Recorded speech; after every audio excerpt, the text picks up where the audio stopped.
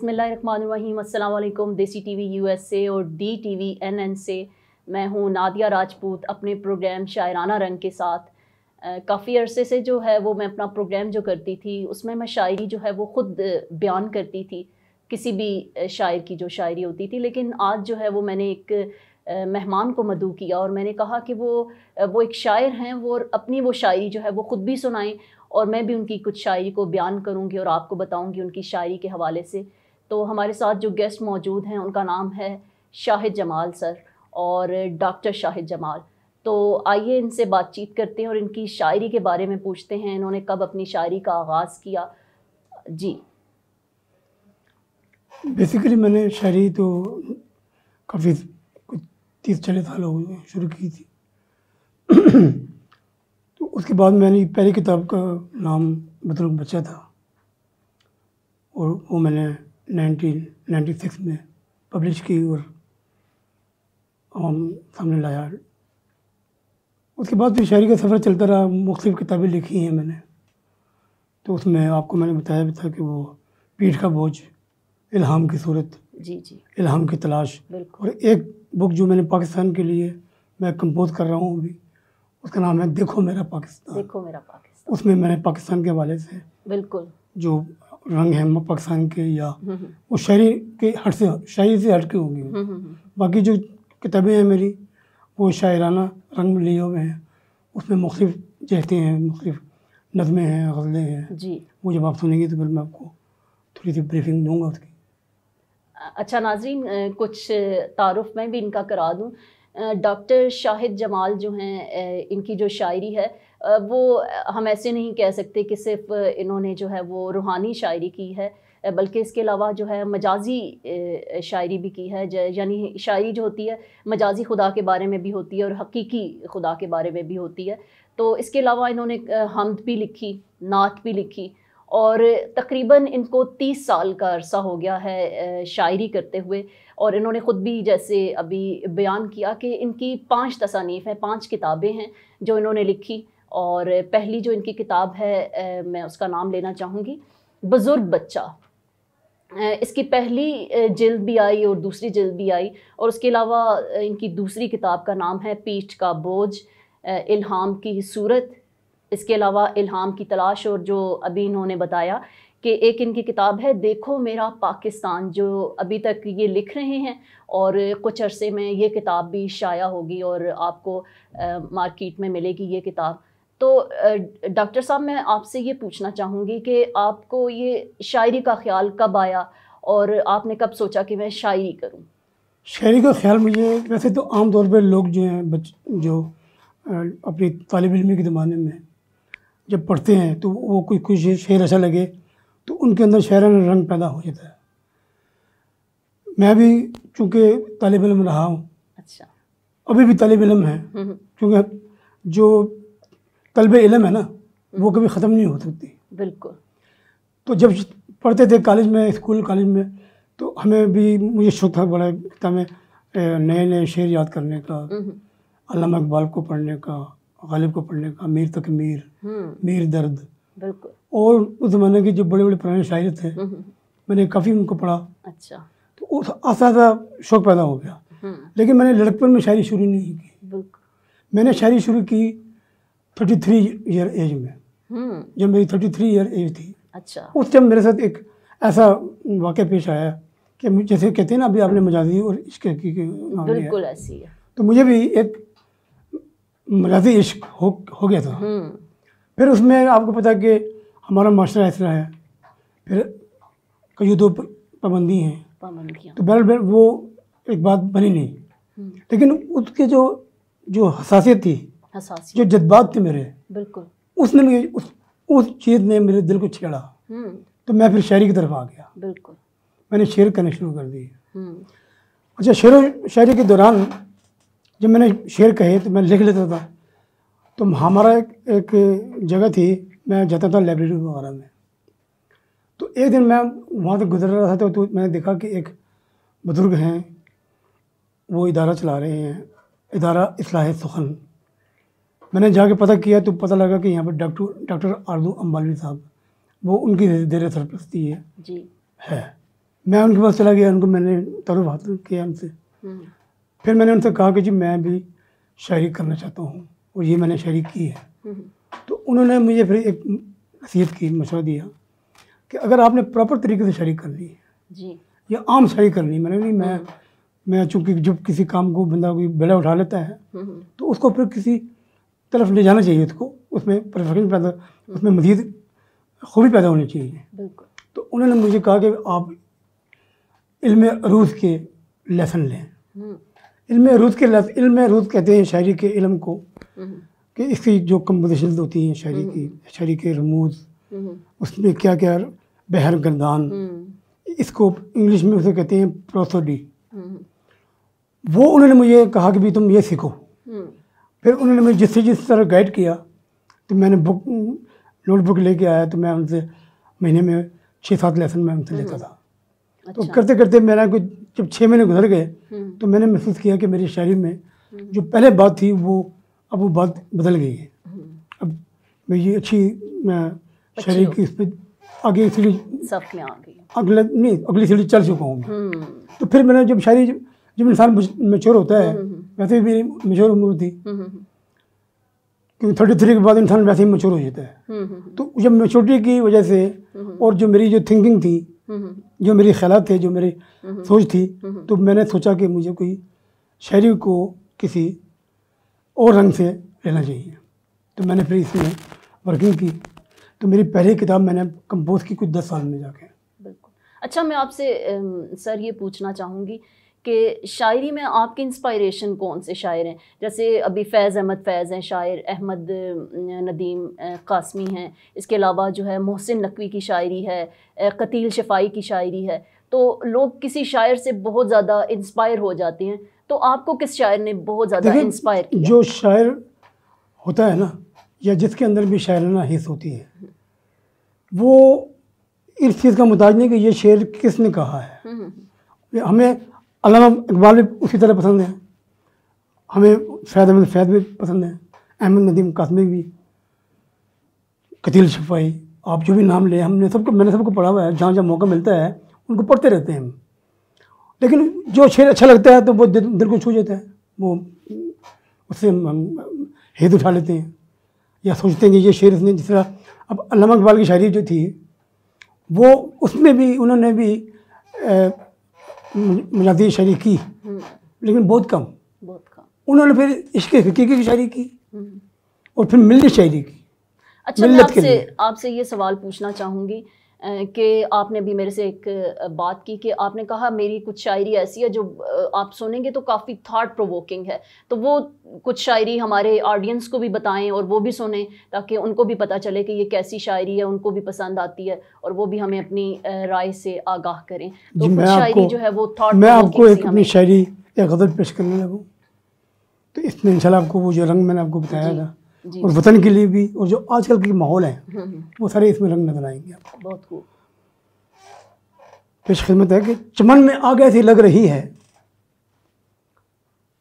कि जलता हर एक गुलाब देखो। बिल्कुल। चमन में आग ऐसी लग रही है कि जलता हर एक गुलाब देखूँ। कोई ये खुश फहमियाँ तो देखे कि फिर भी चाहत के ख्वाब देखूँ। कोई ये खुश फहमियाँ तो देखे कि फिर भी चाहत के ख्वाब देखूँ। कभी मोहब्बत सवाल देखूँ, कभी मैं नफरत जवाब देखूँ।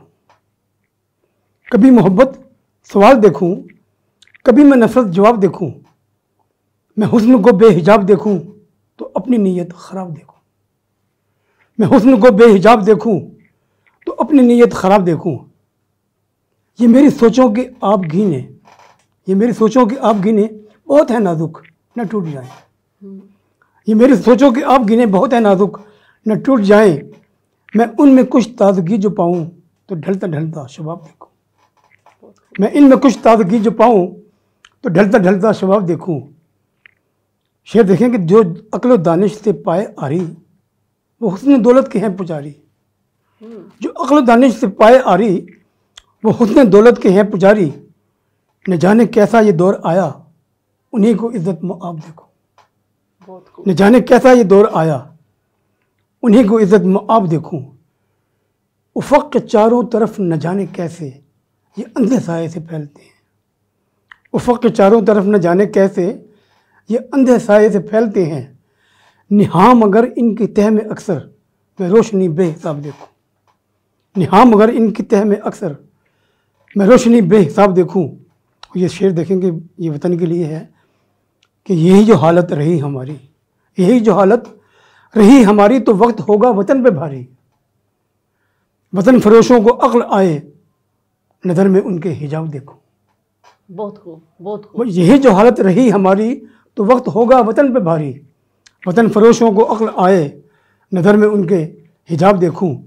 वतन की हर एक हसीन शय को मैं प्यार करता हूँ चूमता हूँ। वतन की हर एक हसीन शय को मैं प्यार करता हूँ चूमता हूँ। कहाँ ये फुर्सत के इश्क की और कोई रंगी? किताब देखूँ। कहाँ ये फुर्सत कि इश्क की और कोई रंगी? किताब देखूँ। ये इल्म दानिश की दरस गाहें ये इल्म दानिश की दरस गाहें कि हुसन फितरत के हैं मज़ाहिर। ये इल्म दानिश की दरस गाहें कि हुसन फितरत के हैं मज़ाहिर। जो हुसन फितरत को दोस्त रखे उसी को मैं कामयाब देखूँ। जो हुसन फितरत को दोस्त रखे, उसी को मैं कामयाब देखूँ। और मकता पेश खिदमत है कि सुकून कल्ब व नज़र की खातिर ही ख़ुद परेशान सा रहा सुकून कल्ब नज़र की खातिर ही ख़ुद परेशान सा रहा हूँ। जमाल हालत है अब ये कैसी कि जागते में भी ख्वाब देखूँ। जमाल हालत है अब ये कैसी कि जागते में भी ख्वाब देखूँ। चमन में आग ऐसे लग रही है कि जलते हर एक गुलाब देखूँ। कोई ये खुश फहमियाँ तो देखे कि फिर भी चाहत के ख्वाब देखो। बहुत खूब बहुत खूब। मैंने भी इनकी शायरी को पढ़ा और मुझे काफ़ी इनकी शायरी ने जो है वो अट्रैक्ट किया मुझे काफ़ी ज़्यादा अच्छी लगी। और आपने एक जो है वो नज़म लिखी है अपनी बेटी के नाम महक शायद उनका नाम है तो वो मुझे बहुत अच्छी लगी तो वो मैं अपनी ऑडियंस को ज़रूर सुनाऊँगी और फिर आप मुझे उसका बैकग्राउंड लाजमी बताइएगा। जी तो इनकी जो पहली किताब है बुज़ुर्ग बच्चा इसमें जो है इन्होंने एक बहुत खूबसूरत नज़म लिखी है अपनी बेटी के नाम, महक इनकी बेटी का नाम है। तो इस नज़म का नाम है महक के नाम शीर ख्वार बेटी महक के नाम। और ये नज़म मैं आपको पढ़ के सुनाती हूँ और इसके बाद फिर मैं सर से पूछूँगी कि आखिर क्या इंस्पायरेशन थी और इन्होंने ये नज़म क्यों लिखी? कोई क्या जान सकेगा जो मेरे दिल में है? कोई क्या जान सकेगा जो मेरे दिल में है? समंदरों के तलातुम के वहशतों के भंवर। समंदरों के तलातुम के वहशतों के भंवर। मैं अपने आप में गुमसुम दिखाई देता हूँ। मैं अपने आप में गुमसुम दिखाई देता हूँ। जो प्यार दिल में मेरे, वो कोई क्या जाने? जो प्यार दिल में मेरे, वो कोई क्या जाने?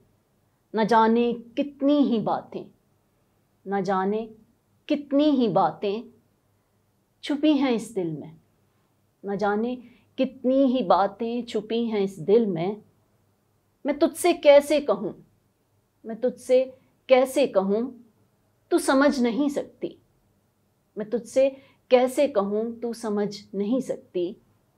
के शीर ख्वार है तू, के शीर ख्वार है तू मगर गुड़िया। के शीर ख्वार है तू, मगर गुड़िया। इस आर्जी सी जुदाई की फ़िक्र मत करना। इस आर्जी सी जुदाई की फ़िक्र मत करना। ये वक्त मेरी नज़र में है आनी जानी शय। ये वक्त मेरी नज़र में है आनी जानी शय। जी तो नाजरीन, इनकी जो किताब है, पहली किताब जिसका मैंने ज़िक्र भी किया, बुज़ुर्ग बच्चा। इसमें एक इन्होंने बहुत खूबसूरत सी नज़म लिखी जो मेरी आँखों के सामने से गुज़री। तो मैंने कहा कि मैं ये आपके साथ ज़रूर शेयर करूँ और आपको बताऊँ इस नज़म के बारे में। तो डॉक्टर साहब से भी पूछते हैं और पहले वो नज़म मैं आपको थोड़ी सी पढ़ के सुनाती हूँ। महक के नाम, महक जो इनकी बेटी का नाम है। कोई क्या जान सकेगा जो मेरे दिल में है? समंदरों के तलातुम, के वहशतों के भंवर मैं अपने आप में गुमसुम सा दिखाई देता हूँ। जो प्यार दिल में है, मेरे वो कोई क्या जाने? न जाने कितनी ही बातें छुपी हैं इस दिल में। न जाने कितनी ही बातें छुपी हैं इस दिल में। मैं तुझसे कैसे कहूँ तू समझ नहीं सकती। मैं तुझसे कैसे कहूँ तू समझ नहीं सकती। कि शीर ख्वार है तू। मगर गुड़िया मगर गुड़िया इस आर्जी सी जुदाई की फ़िक्र मत करना। ये वक्त मेरी नज़र में है आनी जानी शय। ये वक्त भी दबे पाँव गुज़र ही जाएगा। तो आइए इनसे पूछते हैं कि क्या इंस्पायरेशन थी कि इन्होंने ये शायरी लिखी और उसका बैकग्राउंड क्या है? तो डॉक्टर साहब आप बताइएगा। ये जब मैंने शेर शायरी लिखी थी नज़म लिखी थी तो उस टाइम मैंने कोई एक दो साल हो गए थे मुझे शायरी शुरू की। बिल्कुल। तो मेरी बच्ची थी छोटी हम्म। शेर ख्वार थी। तो लाजिम बात है कि बाप के दिल में बच्ची की मोहब्बत होती है। हम्म। तो मुझे किसी काम के सिलसिले में दूसरी पोस्टिंग मेरी दूसरी जगह हो गई। हम्म। तो वो आधी सी जुदाई बीच में आ गई। बिल्कुल। तो उस ज़माने में मुझे अपने बच्चे याद आती थी। तो मैंने फिर उसके लिए बस अपने आप ही जहन में आ गई मैंने लिख दी थी। अच्छा आपसे एक सवाल पूछना चाहूँगी कि आपने जब शायरी की इसके अलावा आपने हमद भी लिखी नात भी लिखी तो आप मनकबत भी लिखी। बिल्कुल। और तो जी। आपको सबसे ज़्यादा किस चीज़ को लिखने में मज़ा आया? किस चीज़ ने आपके जो है वो दिल को ज़्यादा खुशी दी और आपने उसको लिखने में बहुत अच्छा महसूस किया? देखिए ज़्यादातर तो गज़लें इंसान शायरी लिखते हैं। बिल्कुल। वो भी अच्छी लगती हैं फिर कुछ नज़में थी मेरी तवील नज़में बिल्कुल। एक मेरी नज़म थी ख़िज़ा का बाहर से मुकालमा। हम्म। वो कभी मौका मिला तो मैं आपको पेश करेंगे। बिल्कुल। तो वो ख़जा बैठी है और बाहर बैठी है बातें कर रही है। तो वो ख़जा बाहर से क्या कहती है और बाहर उसको क्या जवाब देती है? वो भी बड़ी थॉट प्रोवोकिंग वो है नदम अच्छा मैं इसके अलावा मैं अपनी बता इसके अलावा मैंने मुसन्नवी भी लिखी है। हम्म, हम्म। मुश्किल से होती है। एक रुबाई होती है रुबाई भी मुश्किल से और ये कतब वगैरह जो हैं ये भी लिखे हैं मैंने बहुत सारे। और बच्चों के लिए कुछ लिखी है मैंने। कुछ लिखी हैं नौजवानों के लिए और कुछ जो हैं जो अहल दानिश हैं उनके लिए भी मेरे किताब में ऐसी चीज़ें हैं जो कि क्योंकि बच्चों वाली चीज़ें जो होती हैं वो आम लोग नहीं पढ़ते ना। बिल्कुल ऐसी। तो इसी तरह उनका एक लेवल होता है आदमी देखा। अच्छा मैं आपसे ये पूछना चाहूँगी कि नई जो नस्ल है इसको आप क्या पैगाम देंगे? कि आपने एक देखा होगा कि आजकल के जो नौजवान है किताबों से उनका एक ताल्लुक़ जो है वो ख़त्म होता जा रहा है और वो शायरी भी नहीं पढ़ते किताबें भी नहीं पढ़ते। और इस बारे में आप क्या कहना चाहेंगे कि नई नस्ल जो है वो क्या करे? क्या वो किताबें पढ़े और क्या इससे वाकई नॉलेज इंक्रीज़ होता है? वाकई क्या इल्म में इजाफा होता है? और क्या पैगाम आप Desi T V U S A और D T V N N के नाजरन को देना चाहेंगे? देखिए बात यह है कि आजकल के दौर में जो हालात हैं ना वो तो आपके सामने ही हैं। बिल्कुल। लेकिन जो किताब है वो कभी अभी आप जैसे कहती हैं कि कंप्यूटर में कोई चीज़ लिखते हैं हम्म। गाना लिखते हैं ना गाना भी लिखना पड़ता है। हम्म। वो किताब में ही लिखा जाता है। बिल्कुल। लेकिन उसको थॉट प्रोवोकिंग नहीं है, जैसे आजकल के रेपर जो हैं, ये आप एक दफ़ा पढ़ती हैं, सुनती हैं गाना, उसके बाद दोबारा आपको ना दिल करता है, वो गया। वो रास्ते जैसे कहते हैं, पानी गुजर गया। जो किताब की जो अच्छी शायरी होगी, वो आदि नस्लों तक भी बरकरार रहती है। जैसे पहले शायरी गुजर चुके हैं, लेकिन उनकी शायरी अभी भी सदियों से चलेगी। जो आजकल के जो ये रेपर्स के जो जो गाने हैं या दूसरे इसमें कुछ इश्क मोहब्बत है वो लड़ी हैं इस तरह की बातें हैं। तो वो मैं उसको इतना मैं उसको मायूस समझता हूँ। वो टाइम पास है ये जो किताब को लिखना अच्छी शायरी को पढ़ना और जो स्टूडेंट हैं उनको मेरी नसीहत है ये। और कॉलेज और जो यूनिवर्सिटी हैं कि वो बच्चों को किताब के साथ किताब से जुड़े रहें। किताब से भी जुड़े जुड़े रखें इनको। अदरवाइज़ हमारा जो मुस्तबिल है हम्म। वो उनकी फिर जो ना सोच होगी हम्म। ना देखें अदब एक होता है अदब। हम्म। एक होता है बेअदब। बेअदब। अब जो आजकल की जो शायरी है या जो कुछ चीज़ें ऐसी हैं वो बेअदबी में चली गई हैं। जी। उसमें कोई किसी की ना इज़्ज़त का है उनको ना किसी की उसकी हरमत का एहसास है। ये बस मैं चाहता हूँ कि जो आजकल की जो नस्लें हैं या आने वाली नस्लें हैं उसके लिए हमारे जो अहल दानिश हैं अहल जो पढ़ते हैं जो यूनिवर्सिटीज़ हैं उनको इस तरह बड़ी थाट प्रोवोकिंगली उन गौर से इस पर संजीदगी से इस पर ऐसा सिलेबस लाएँ और मजबूर करें बच्चों को कि वो इसको भी जी बिल्कुल डॉक्टर साहब ने बहुत खूबसूरत बातें कहीं कि वाकई किताब की जो अफादियत है वो कभी कम नहीं होती उसका कोई नमल बदल नहीं है। किताब लाजमी पढ़नी चाहिए और आजकल की जो नस्ल है उसको किताब के साथ एक रिश्ता इस्तवार करना चाहिए। इसी के साथ नादिया राजपूत को दीजिए इजाज़त। अगले प्रोग्राम में हम किसी और शायर की शायरी के साथ हाजिर होंगे। तब तक नादिया राजपूत को दीजिए इजाज़त। अल्लाह हाफिज़।